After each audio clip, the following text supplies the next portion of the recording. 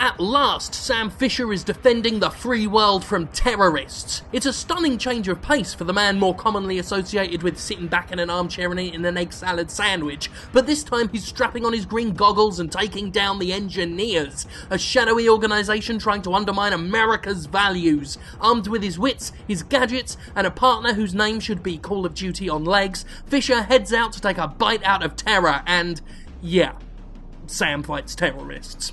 After the genuinely intriguing plot of Splinter Cell Conviction, Blacklist's plot is rather pedestrian and not all that intriguing at all. Still, the main villain is good. Shame he's not in it much. Blacklist attempts to marry the traditional Splinter Cell experience with ideas introduced in Conviction, and as you might expect, the result is a game that struggles to be quite as good as either the gameplay models it lifts from.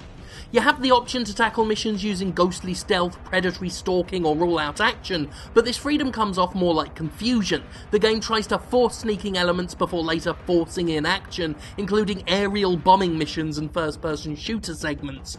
Nevertheless, amidst the conflicting design, is a game that does manage to be quite satisfying in a number of ways, especially when you go the ghost route and manage to shift your way past a gaggle of guards totally undetected. The level design is really quite good this time around, with plenty of ceilings to shuffle across, windows to sneak under, and multiple routes to suit your playstyle, while fun gadgets include a remote controlled drone, a bow that launches sleep arrows, and of course, sticky cameras.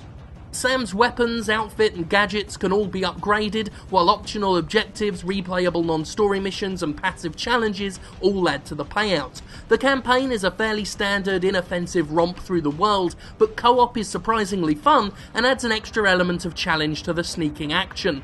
The Spy vs. Merc multiplayer mode also returns and maintains its position as an unlikely series highlight, as sneaky spies take out first person shooting mercenaries in a series of online modes. It may displease some to hear that multiplayer is what makes Blacklist, but it's true. Without Spy vs. Mercs, the campaign alone is a bit of a letdown. It's the online that proves itself to be the winner, and that's just the way it is.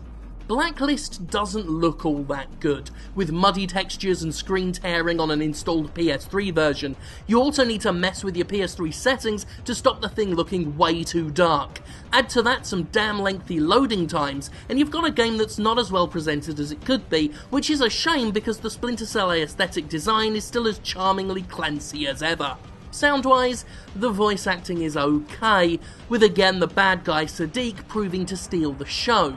The music is your usual collection of duns and boom booms and duns, and that's okay if you like that sort of thing. Builds the mood at any rate. Splinter Cell Blacklist is pretty good if you go into it aiming to play everything it has to offer.